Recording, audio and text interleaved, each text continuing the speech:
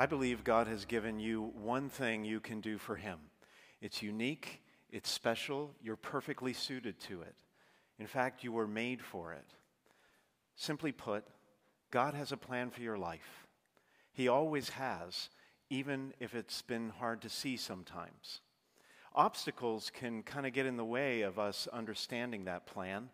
You know, a death in the family, a broken relationship, an unexpected move, a health crisis, a financial setback. But God has already accounted for those detours, He's already working around them. The enemy will tell you that those detours are impassable. You can't get through. You're facing an iron gate. There's no way to get to the other side. You might as well give up. With opposition like that, it's easy to start thinking negatively about yourself and believing that your life is ultimately limited and relatively unimportant. Maybe you even start seeing yourself as just one anonymous face in the whole human race. Seven billion people on the planet. What impact could you really make? How could your life possibly matter?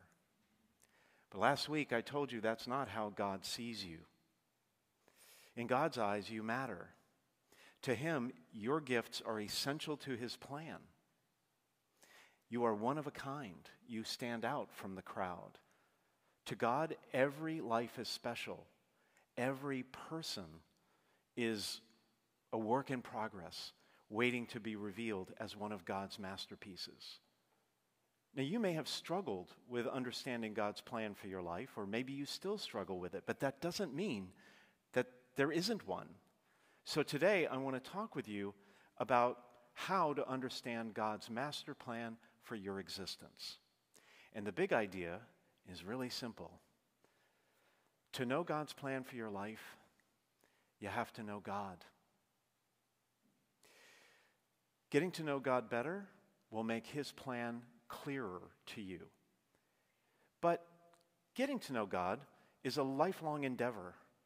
It can be difficult. There are twists and turns, and it can be confusing. And so today, I would also like to offer just four ideas, four thoughts, four points for reflection about how maybe you and I can get to know God even more fully so that we can understand His plan even more completely.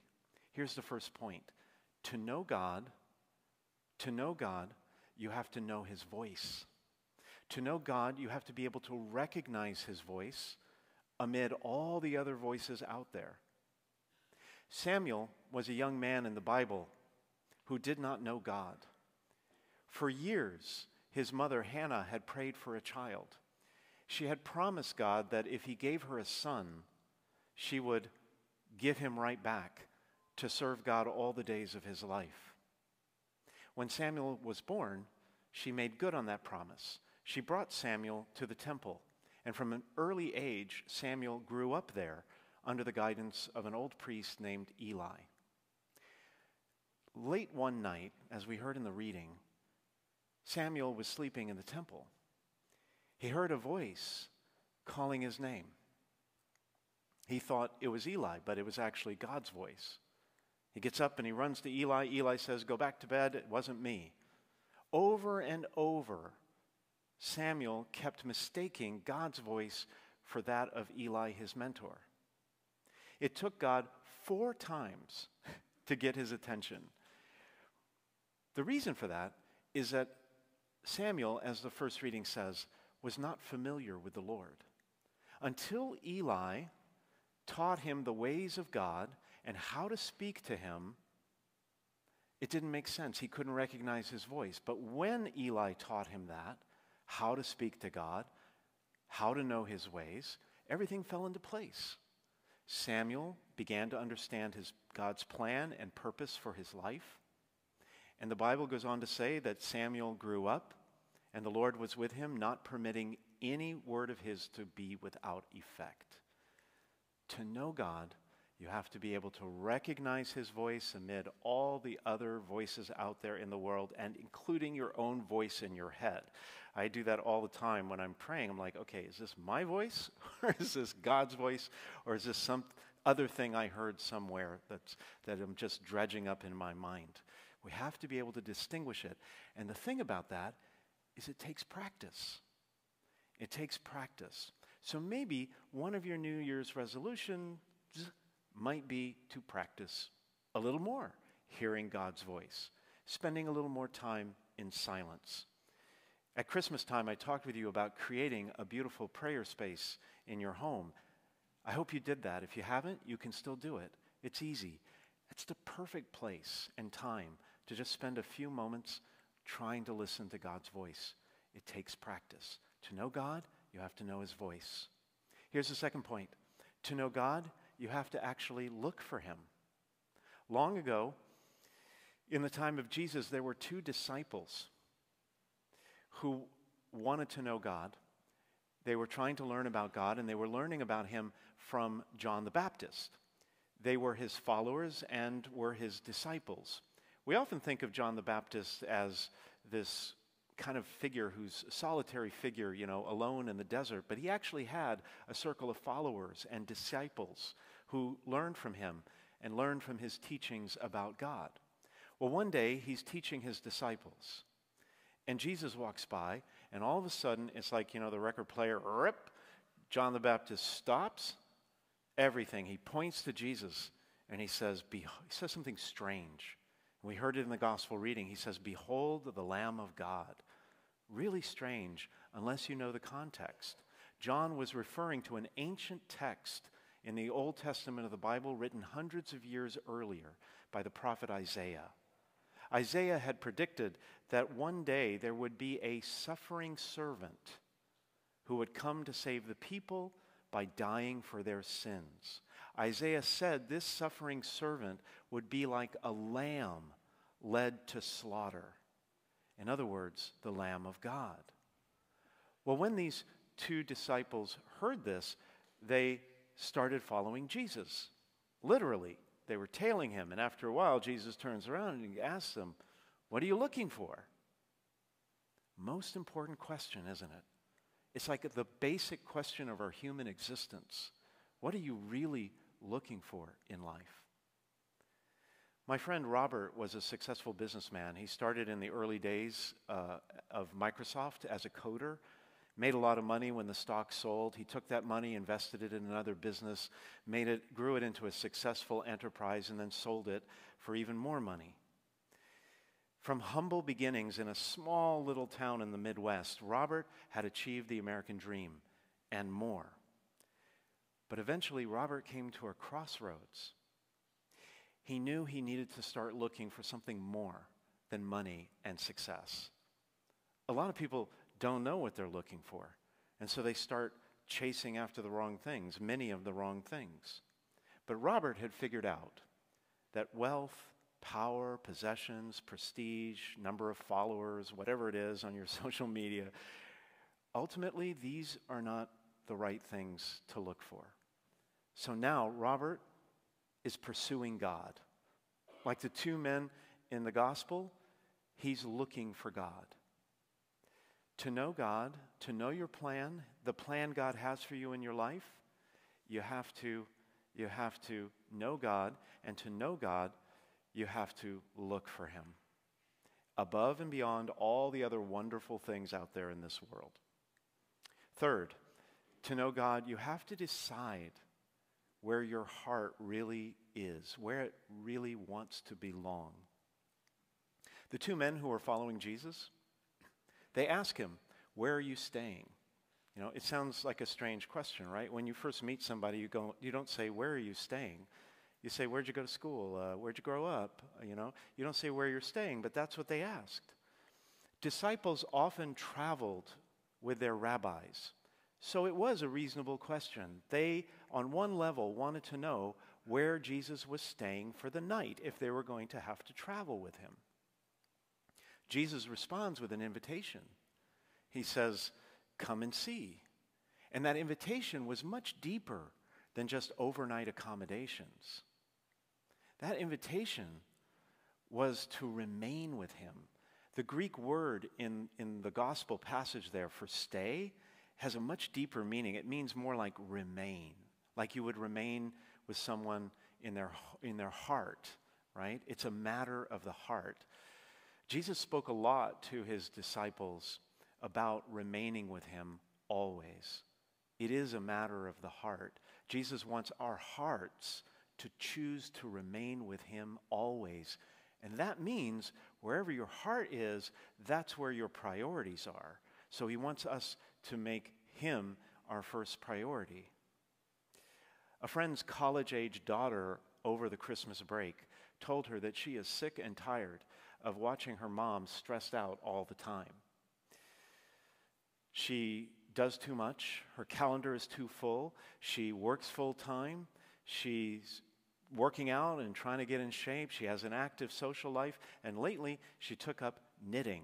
And now she stresses out over not meeting her self imposed quota of how many articles she needs to knit in a certain period of time. Well, enough was enough, and her daughter sat her down over the Christmas break and said, Mom, you've got to focus on the most important things. Knitting, for example, she said, can wait till retirement. Focus on what's important, stay with the most important priorities. Out of the mouths of babes, right? Really good advice. Because our hearts determine our priorities. And to know God, you have to make Him your first priority and where your heart really chooses to remain. It's a matter of making Jesus matter to you, to your life. That's our mission statement, by the way, at this church. We say our mission, the reason we exist, is to make Jesus matter to everyone. But it is a matter of the heart. So to know God, you have to, you have to look for Him. You have to be able to identify His voice and recognize His voice.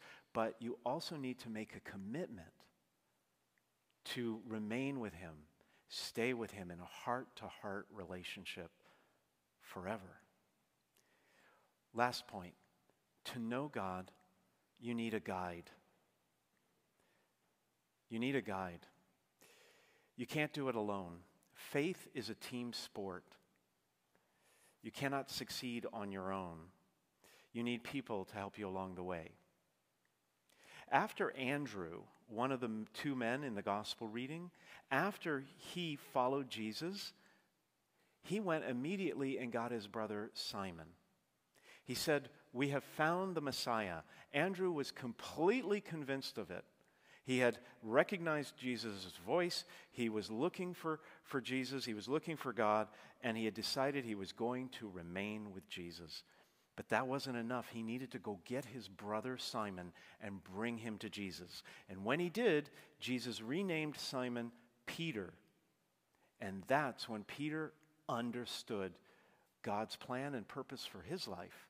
Because Peter, as Jesus said, means Cephas, which means rock.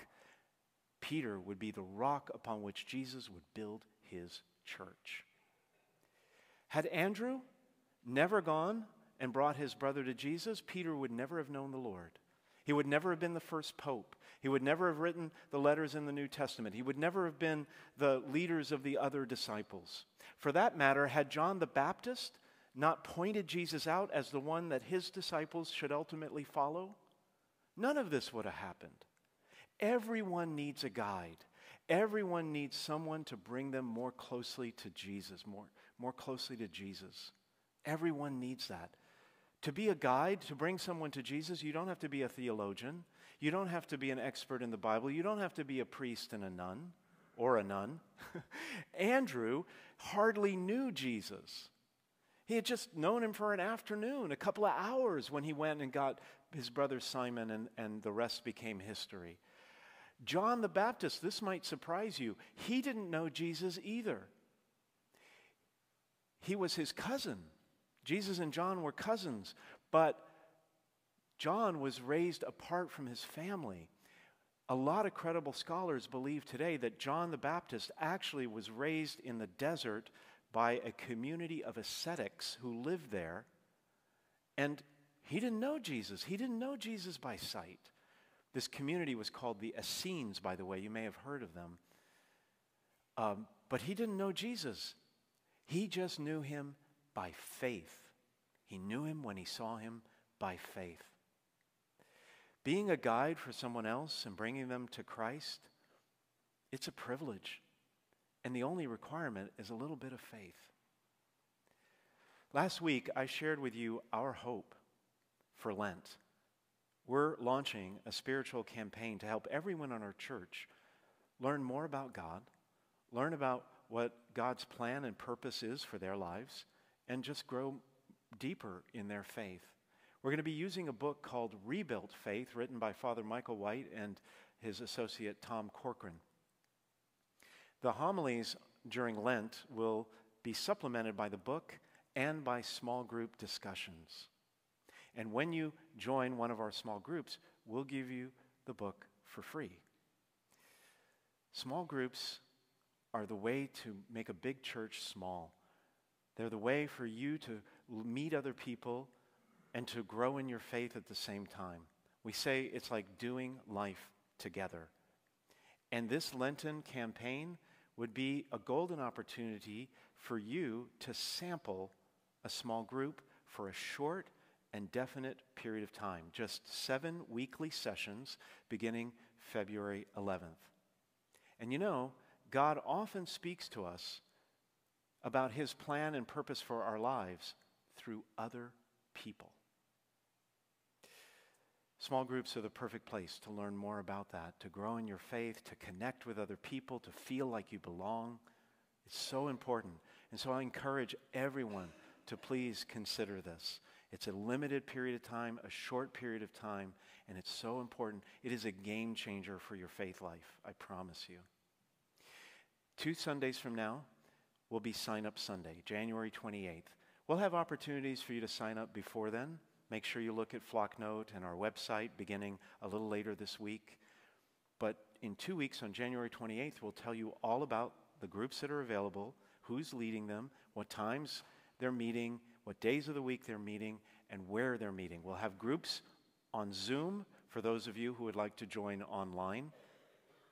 And we'll have groups in person as well. They'll meet in homes and cafes and parks, and some of them will meet here on our campus. This will be a game changer not only for you, but for our parish as well. We'll become a parish not just with small groups, but we'll become a parish of small groups. And if we do this together, everything will change, everything will grow, everything will be better. Even better than it is now. So stay tuned for that on Sign Up Sunday. We'll have an easy way for you to sign up, and, um, and we'll give you more details as we go along. So, how does God really see you? What is his plan and purpose for your life? These are questions we all want to know the answers to or should want to know the answers to. The answer is right in the gospel today. Jesus says it straight out to those two disciples Come and you will see.